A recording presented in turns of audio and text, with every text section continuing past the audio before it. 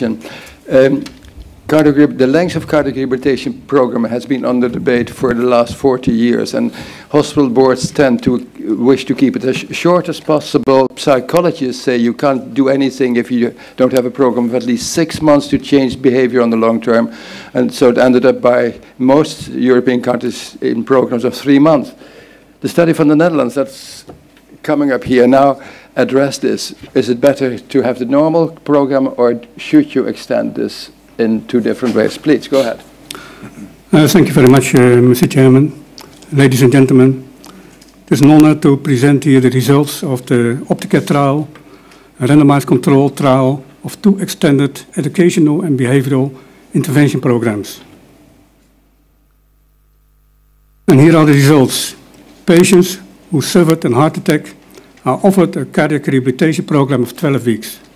We studied whether an extended program until 12 months up to standard cardiac rehabilitation would be successful to adhere lifestyle changes and found that our extended programs resulted in less smoking, a higher quality of life, seven more steps, 700 more steps a day, more risk factors on target, and lower cholesterol and less anxiety.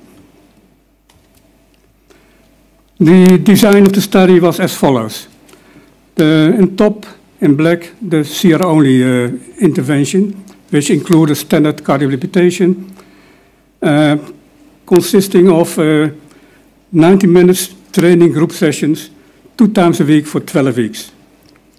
In green, we have the first extended program face-to-face -face intervention, which included standard CR and, an, and in addition, three physical activity counseling sessions in the same period. In addition, we have three extended group sessions, face-to-face, including face fitness training and lifestyle counseling.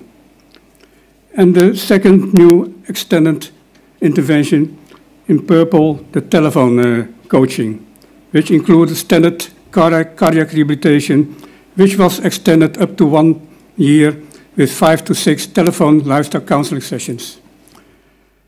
The main endpoint was 18 months after randomization.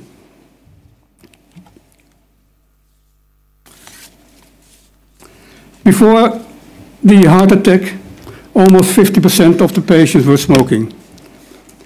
Uh, a start of cardiac, a start of cardiac rehabilitation, which was on average six weeks after the ACS event, the smoking rate was reduced to 10%. And at 18 months, it turned out that in both extended interventions, the 10% 10 smoking reduction was sustained whereas in the control group, smoking rate was increased from 10% to 20%. And on the right, the quality of life and anxiety. Quality of life was improved significantly in both extended programs as compared with standard cardi cardiac rehabilitation alone. And anxiety was significantly less in our face-to-face -face intervention as compared with the control group. With respect of physical activity, we concluded that physical activity was better in the extended extended face-to-face -face intervention. Patients in this program walked 700 more steps a day as compared with the standard cardiac rehabilitation only. And also with respect to cholesterol, total cholesterol as well as uh, LDL cholesterol were significantly lower in our two extended programs. Thank you much for your attention. Um, can I start off with a straight question? Um, where did you get your patient from? Were they consecutively from one hospital or were they referred? From the region of Rotterdam, Netherlands. Okay. There are about uh, seven, eight hospitals uh, who refer patients to cardiac rehabilitation. Okay. So the answer on the question, what would you re recommend the audience here. Do you think we should have three or nine months extra rehabilitation? Uh, what we found is uh, continuation of uh, supervision of the patients is, is, important and essential. We had an intervention until 12 months, and our main endpoint was after 18 months. So there was a gap of six months in between, and we saw that in, in those six months, the patients fall back a little bit. So supervision, uh, continuation is, is very important. Okay, will that mean that you will go for the system with adding on another nine months, or will you stay stick to your three months?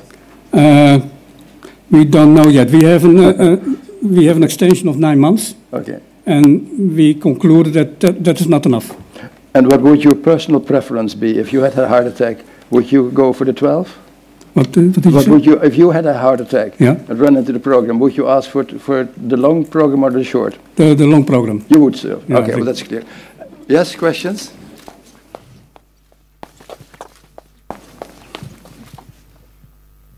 Janine Budding, Medical Facts from the Netherlands. I uh, have actually three short questions.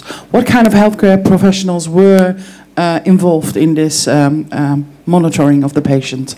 Uh, physiotherapist, dietist, social workers.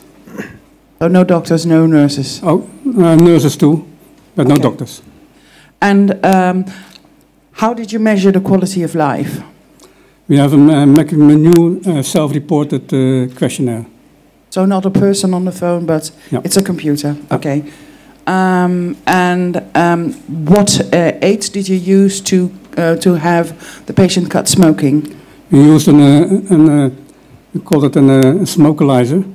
So they have to b- breath. So we don't, we, it was not uh, self-reported smoking. We used a, a tool for it. Okay, next question. Yeah, Bruce Jancin with Cardiology News. Uh, Okay. I don't know how it is in Europe, but in the United States, um, cardiac rehabilitation is not commonly used. It's widely believed it's underused. So, how do you go from underuse to uh, getting more use of a program that is three times more lengthy and elaborate? Uh, I know that the United States is a big country. I live in the Netherlands, a small country, and we have uh, several gyms in the region. And within you know, 30 minutes, every patient can reach that, that location. And uh, what was your question again? Well, my question is, uh, how do you convince the paying authorities and physicians, who are the ones that prescribe the, the rehab, to go for something that is three times longer than something that they're not commonly prescribing uh, now?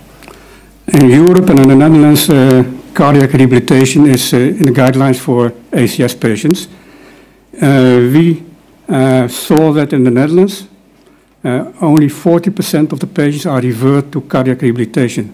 So there is a uh, gain to reach of 60%. Well, that's a very common situation, at least in Northern Europe, that uh, reference rates uh, vary between 60 80 percent, but only half of the patients actually come. And uh, that means, we, at least very short in Sweden, we start a different measurement uh, system as from this autumn. What we're going to do is train our PCI guys to tell the patients, Congratulations, you made it, but the rest is yours. We simply tell them, look at football, you've got a yellow card.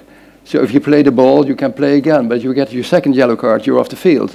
And that message, I think, the, the, the basic starting point, tell the patients that it's a great uh, result, but now you have to do it yourself. If you don't do that, no program will work. A last question? Yes, um, Damien Coulon from Le Quotidien du Médecin. Over here.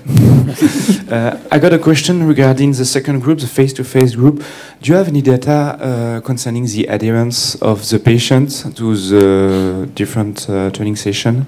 Do you know if they all went to all the session or did you have a loss during the Now, that's a program? problem too. Uh, we saw the, the standard in our standard cardiac, cardiac rehabilitation programs and that only 85% of the patients complete the standard cardiac rehabilitation. And for the uh, extended programs, we observed that another 25% uh, didn't complete the extended program.